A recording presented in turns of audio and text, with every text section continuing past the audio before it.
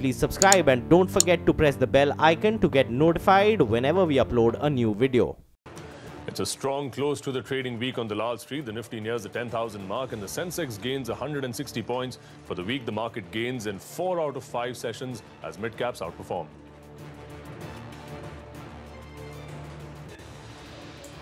And the auto sector shrugs off the GST slowdown as August sales hit top gear. Maruti beats expectations along with Eicher Motors and Ashok Leyland. M&M's tractor sales clock healthy gains as well.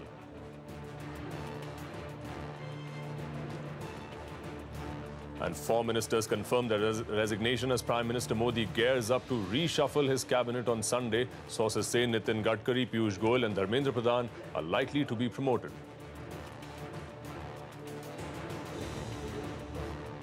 And Rajiv Kumar replaces Arvind Panagariya as the vice chairman of the government's think tank Niti Aayog, says policy making must be a participative and not an elitist activity.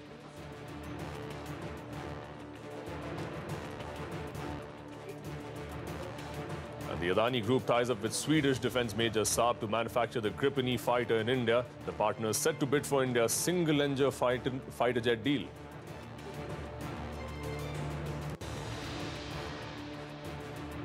Former Infosys chairman R. Seshasai hits back at Narayan Murthy, calls Murthy's charges quoting an anonymous whistleblower as slanderous and patently offensive.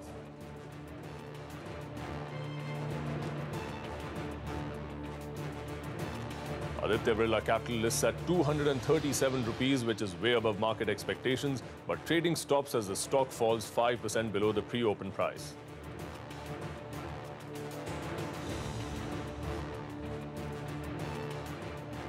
After the divestment department's nudge, five rail PSUs expected to submit their draft red herring prospectus to SEBI in a month's time. The government keen to list three PSUs this fiscal. That's an exclusive.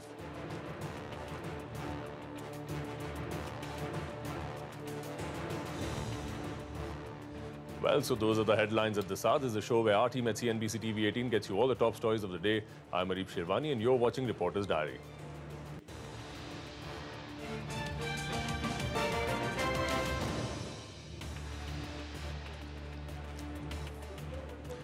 But first up, let's get you all the market action of the day. So the Dalal Street ended the week on a positive note. Uh, the Nifty ended close to the 10,000 mark, while the Sensex closed 160 points higher at the close of trade. Uh, the bank stocks mirrored the benchmark indices, while the mid caps continued their fine run, outperforming yet again. Uh, that index closing 1.25% in the green. Uh, Anuj Singhal is standing by to analyze the market further for us. Uh, Anuj, the bulls seem to be regaining lost ground one day at a time. Big surge for the market. Uh, yesterday was, of course, about expiry, but today the market has confirmed one thing that the range could well be over and this market could well be headed back towards the 10,000 mark. In fact, it's just about 20 or 30 points away from that. So, could happen on Monday itself. What led the market move today was the auto sales numbers. That's always the most important number to track. And today, that number helped the markets. And across the board, we saw a big surge. And that led to uh, even mid-cap rally. In fact, the mid-cap index is now within 0.7% of a new lifetime high. That's how swift the rally has been from the low point. Autos, as I said, sector of the day, so Tata Motors, Bajaj Auto, Ashok Leyland, all doing well. Pharma was rallying today, led by Dr. Reddy's. Metal stocks look good, looked good today, led by Hindalco. And other nifty gainers today included names like Asian Paints, IndusInd, and BPCL. And in the F&O space, big gainers today, Sun TV, IDFC and Reliance Capital. What next? September normally is a trend month for the market. I've seen uh, in the past 7 to 8% gains or losses uh, for the market. So it will be interesting month to track for sure. The market is closer to previous highs and has put behind a correction. And if the template is to be believed, then uh, we could be talking about higher highs pretty soon. Right, so a clear bounce back by the market. Thanks, Anuj, for joining us with all the details from there. But moving on to the auto sector, where sales have spiked in August, uh, recovering well from the aftermath of the goods and services tax rollout. Uh, so industry biggies like Maruti Suzuki, Ashok Leyland, Eicher Motors, they've all recorded more than 20% uh, uh, growth in sales. But Bajaj Auto uh, has seen weaker growth at around 3%. Uh, Naveen Shetty has been looking at all that data, and he joins us now with a breakdown. Naveen, Naveen, how are the numbers stacking up? Well, the street cheered the auto sales numbers across all segments. In fact, all companies also. Ashok Leyland, that was the biggest surprise. The CV sales jumped by 25%. In fact, the M&HCV, that is where the increase by 29%, which overall aided the numbers also. This is majorly because of the restocking that is happening post GST. On the other hand, Eicher Motors, steady as steady can be. The total sales for the Royal Enfield jumped by 22%, and the bulk of the sales happened in the sub 350cc segment. Uh, if you see Maruti, Maruti also the street was building in an expectation of close to 22%. 24% is what Maruti delivered in terms of their overall PV sales. Bajaj Auto tepid expectations ahead of the sales numbers, but they surprised positively. The overall sales jumped by 3%, but exports. Remember, the management was cautiously optimistic on their export sales. That came in as a big positive surprise of up by 7% in terms of the exports. Escorts also, Escorts was more or less known. So restocking post the GST, because of which you see the total sales jumping by 23%. Uh, coming on to M&M, tractor sales over here, that has been quite a big positive. 22% versus the street expectation of almost 18% growth. Also, if you see the automotive segment, that has been more or less steady, 4% growth. Street was expecting around 5%, but yeah, in still there was some cheer that we had seen on the stock. Coming on to Tata Motors, big surprise, total sales up 14%, led by CV segment. CV segment as in a whole grew by 34%. Why? Because their CV, um, M&HCV segment, which was working on a low base uh, in the base year, that saw a jump of close to 52%. Overall, strong set of numbers by automakers, and that is one reason why you saw most of the stocks up in trade today. Back to you. Right, Naveen. Thanks for joining us with a breakdown of those numbers. But staying with news from the auto sector, it seems like Tata Motors' cries have been heard. Uh, sources are telling CNBC TV 18 that the decks are cleared for the company to bid for the government's tender for 10,000 electric cars. Now, this after the state-owned company Energy Efficiency Services Limited, or EESL, uh, relaxed its bidding requirements. So last week, uh, if you remember, we told you how Tata Motors had uh, raised objections over the bidding norms, which it said were highly skewed in favor of M&M. Uh, Ronojoy Banerjee brought us that story, and he joins us today with all the exclusive details. Uh, Ron, uh, so what has changed now? Uh, how does Tata Motors stand to benefit from this? Well, Tata Motors clearly has its way now because, uh, you know, just to put some context to it, uh, uh, earlier last month, EESL, as you mentioned, had come out with a tender to acquire 10,000 electric vehicles. And at that point, Tata Motors had complained, saying that those tenders were heavily skewed in favor of just one manufacturer, that is Mahindra and Mahindra uh, because only one model was sort of making the cut. That was Mahindra's E-Verito, which is a sedan. Now, the importantly, what we now learn is that earlier this week on Wednesday, uh, EESL has now taken an in-principle decision to change some of the bidding norms. An official notification will come out in some time from now. And where what we understand now is that earlier the the minimum length of the car that EESL was looking to acquire under this tender was above 4 meters. Now they've brought it down to under 4 meters. Why does it uh, benefit Tata Motors? Because Tata Motors is looking to come out with a powertrain version of one of their small cars. In all probability, it's going to be the Tiago, which is what they want now to compete, uh, uh, you know, for this uh, uh, uh, tender to acquire 10,000 electric vehicles. Not just that, we mentioned this earlier, this is a global tender, but for all practical purposes, it benefits right. only the domestic players because, you know, because of the high customs duty. We also learn EESL has now written to the finance minister to waive off the customs duty for some of the global electric cars like the ones in Nissan so that they can import it duty-free. So those right. are the details. Right. Right, Ron. Thanks so much for joining us. Uh, but now uh, we're also joined by Shireen. She's in conversation with the former Law Minister and Rajya Sabha MP Kapil Sibal. Let's go across to that conversation. Shireen?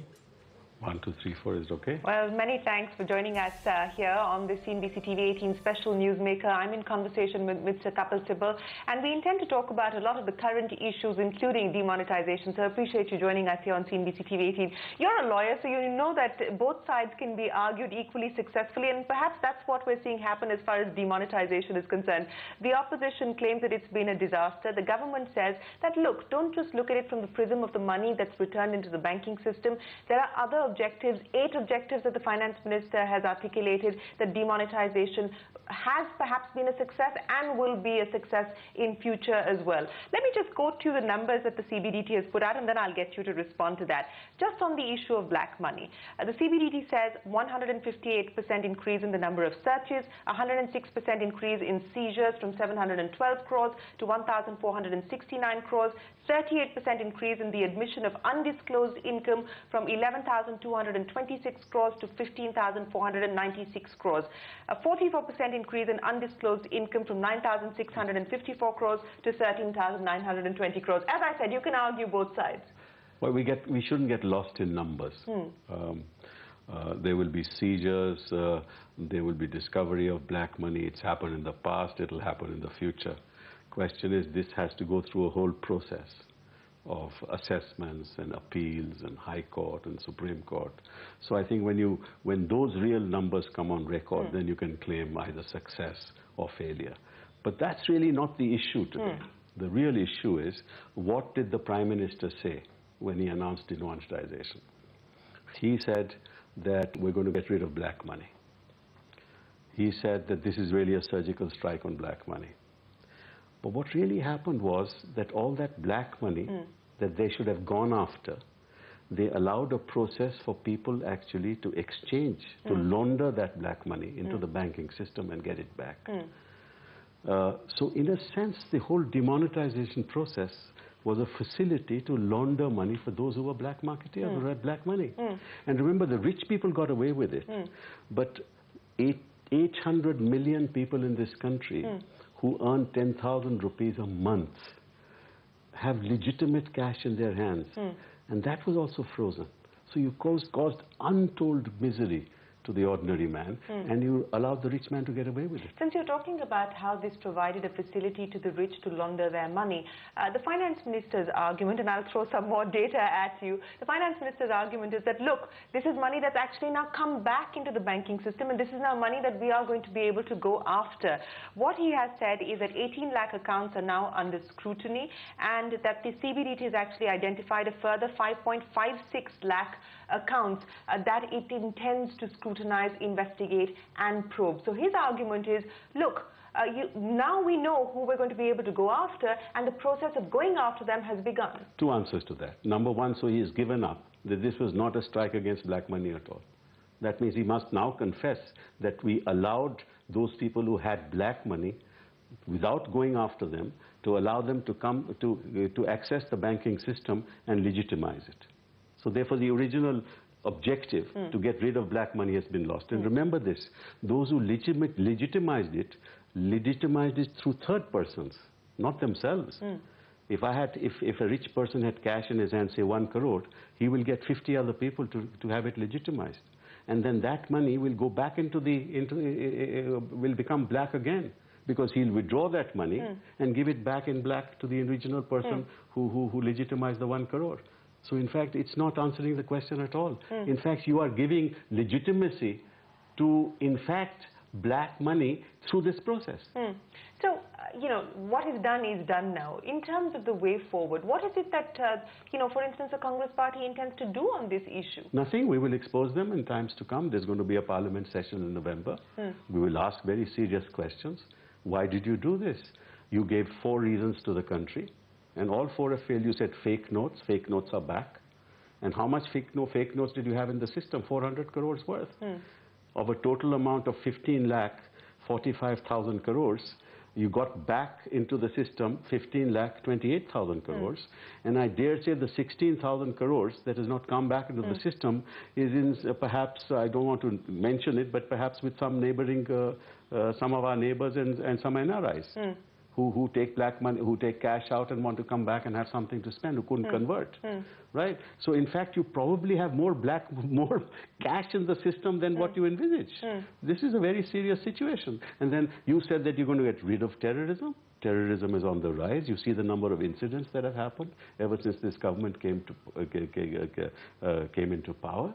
So all the objectives that you set out to achieve, you just didn't achieve. And now you are saying we want a cashless society. Where is the cashless society? Well, less cash now, not cashless. It's, it's a now less it's now, now it's less cash. Less cash. Well, where is that less cash? Hmm. Now you say there are 17, you know, 17 percent increase in, in digital payments and stuff like that. But what is the tax that you're going to recover? That's ultimately the analysis. The 10,000 people who earn 10,000 rupees a month are continuing to earn, probably less than 10,000 now. So you will raise this issue in Parliament Very seriously. in the next session. Very seriously. Okay, let me now move on to uh, other current issues and let me ask you about uh, what you expect as far as the road ahead on Aadhaar is concerned. We now have the Supreme Court uh, give us that landmark judgment on the right to privacy. What will its implications realistically be for the Aadhaar program? The matter is going to be tried in the Supreme Court. Uh, there are two separate issues that will be uh, taken up by the apex court. What should we now realistically expect? There are two issues here. One is the issue of privacy itself, and the other is the issue of data protection. Now, I think a legitimate argument can be raised that when you come to the public distribution system, to target um, target people who should receive the target people who should receive the benefit mm. of hmm. the public distribution system, you need their Aadhaar number. And I think on that count, uh, I think we all should accept the fact that that's the only way to ensure that the public distribution system does not actually um, uh, give it leakages. Give it, yeah, yeah. exactly. Yeah.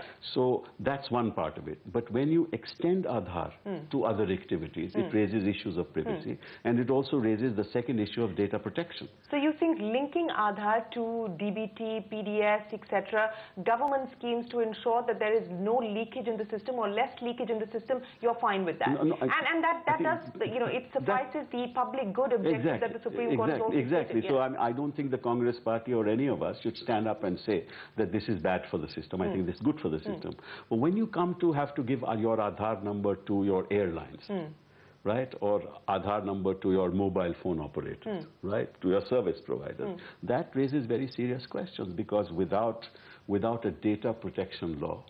And breach of the data protection law and the consequences that hmm. people will have to suffer, without that being put, put in place, uh, it, it's a very it's a very dangerous scenario for, for, for the issues of privacy. Hmm. So I think that that's why the Sri Krishna Committee has been set up. By December, the Sri Krishna Committee will give its report as to what is the kind of data protection law. Then each of the players in the system mm uh, whether it's airlines or any other private yeah. enterprise or the yeah. banking hmm. system, mm. will have to actually adopt the data protection law, mm. put it in the public space, mm. then it will be scrutinized. It's an important point that you make. So how does it change the landscape as far as non-state actors are concerned? It changes the landscape. Even non-state actors will have to have a data protection law. Hmm. Because take, for example, uh, Google, right, or, or any of the platforms that we have we need a data protection law. How do we know that our data is not being actually um, uh, uh, accessed by other people. Mm. So that needs, and, and not just data protection law, they have to commit themselves to mm. that law, and there should be systems in which we, somebody can go and complain uh, for, for violation of that law, and then should be penalties should be imposed. Mm. these are very serious matters because government can actually, the other issue is, I, for example, go to a hospital, and I reveal uh, a government hospital, mm. and the government hospital makes me fill my form and what is wrong with me physically, mm. right? Now that's private. Mm. It's between me and the government hospital. Mm. Can another government agency access, access that? Mm. If I go to the income tax department mm. and furnish my return, mm. they know my income. Can another department of the government of India access that? Because that's confidentiality between me and the income tax department. These are very serious issues that are going to have to be adjudicated in times to come. So which means that each of these issues, there will have to be case law, will have to be dealt with on a case-by-case -case Absolutely. Basis. Supposing somebody comes to search my premises and the, and, the, uh, uh, and the information they have is that I have got two gold bars in my house. Mm. But when they come into this house, they start rummaging everything. Mm. They start looking at my wife's correspondence. Mm. The issue is, is this not a violation of privacy? Now, these issues could not have arisen, arisen before because privacy was not a fundamental right. But these are issues now. Therefore, the extent of searches, the, the discretion of the officer concerned in the context of a search, all these issues are at large. I want to talk to you now about another case that you were involved with, and that is the triple talaq matter, where we've also seen the Supreme Court uh, give its judgment. Uh, in a conversation that you and I had just a short while ago, you said that uh, the Supreme Court intervening in this matter would be a slippery slope. Now, the fact is that the Supreme Court has given its judgment. It has said that triple talaq in one instance uh, is unconstitutional, it's invalid. Uh, now the talk about moving towards a uniform civil code. Uh, given the, the verdict that we have seen from the Supreme Court, what windows does it open up uh, outside of this particular Well, you know, uh, there issue? are two aspects of the judgment perhaps most people don't know about it. The first aspect is that this form of triple talaq, which was not even uh, looked upon uh, uh, positively by, by, by anybody in this country, including the Muslim Law Personal mm. Law Board. And mm. we said in court that now in the Nikah Nama, we'll include a particular provision uh, that will set out that the woman is entitled to say that I am not going to accept triple talaq and the man if he wants to marry her will have to be subject to that condition. That's one part of it. And I think this is a declining practice or only about 0.44% of the Muslim community exercise this form of triple talaq. And the reason why two judges held it to be unconstitutional. Yeah. One judge said that it doesn't have sanction from the Quran, hmm. not because it's unconstitutional, right? And the other two judges said that though, though it's part of personal law, hmm. yet we injunct it hmm. for a period of six months till Parliament legislates. So in a sense, all five judges said the same thing, that hmm. this particular form of triple talaq is not good, and I think we must accept that. Hmm. The problem is that other two forms of triple talaq and other parts of personal law of the, hmm. of the Muslim community have now been protected by the majority, by Justice Kurian, uh, agreeing with uh, the Chief Justice as well as Justice Nazeer that that personal laws cannot be interfered with, hmm. and it is a violation of, of, of, the, of the fundamental rights hmm. of, of the community. So therefore, there is no way forward. Hmm. Because if you want to have a uniform civil code, then you will have to justify as to how you can interfere with personal law, because the majority judgment of the Supreme Court says you cannot. Right? And if, you, if, if there is, of course, a movement throughout the country that personal laws of all communities must be looked at afresh, I don't think that uh, this government or any government will dare do that. Because the kind of, see the problem with hmm. these issues is patriarchy. Hmm. Right? It's the issue of patriarchy that is prevalent in every community. Yes, unfortunately. Right? Hmm. That has to be attacked by all of us together. Unless you deal with that, unless women become, uh, you can stand on their own feet, become educated or emancipated, it's you have to break down the social structure that encourages patriarchy. And unless we do that, we're not going to get any reform. Hmm. So, uh, speaking of reforms, uh, uh, you said that demonetization is going to be an issue that the Congress intends to raise in the next session of Parliament. You know, what what is the political strategy now of the Congress party, Mr. Sibal? I mean, what should we realistically expect of the Congress as an opposition? I think, I think uh, my suspicion, and I think hopefully uh, it should come out at some stage or the other because somebody honest in the system will reveal it, that when this conversion took place, hmm. it could not have been done without the consent of the banking system hmm. and without the consent of the political system. Hmm. And I, when I mean the political system is the BJP, because they are the ones who are in power which means that they were in fact parti- participating in perhaps the biggest scam that has happened in the history of India by conversion of black money into white, in which they were participants. I pray to God that somebody, some honest officer, tells the truth to the people of this country, and if it does, all hell will break loose. Outside of demonetization, what else uh, uh, is going to be part of the strategy as far as the Congress is I think we must, we must work on the ground. In fact, uh, I am very, very uh, disturbed by the fact that uh, in the recent elections, very recent elections, in Delhi, for example, Yes, in Bawana, Bawana, yeah. we were number three, and we are ecstatic about the fact that our vote share has gone up. I don't think that a national party uh, should sort of pat itself on the back and say that, you know, our voting share has gone up. Uh, And so- therefore, so, you I mean, know, I mean, I'm, I'm, I'm, You're, you're, dis- you're disappointed. People like Jairam Ramesh uh, talk about the existential dilemma and existential crisis that the Congress finds no, I'm- itself in. But, but then why is it that senior leaders of the Congress party, like yourselves, like Jairam Ramesh, are, are, are not able to change the narrative, are not able to actually I think- articulate what the strategy is going to be going forward? This has to be forward? a collective exercise, and all of us, I think that all all congressmen, uh, young uh, and old, uh, Where are the young? experienced, Where are the experienced, young? experienced, and not so experienced, uh, and, and some of the young are very, very, very good in our Hmm. party.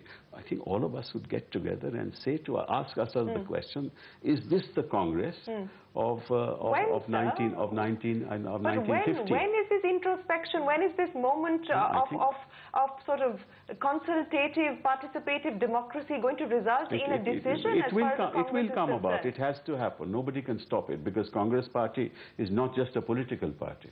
It is a movement. Y- y- You know, Hmm. It doesn't look like either a movement or a political it may, party be, it today. may not. It may not. It may not. It may not. But I think that we need to um, uh, energize the party by going back to the principles on the basis of which Congress stood, uh, and, and and that sense of self-sacrifice.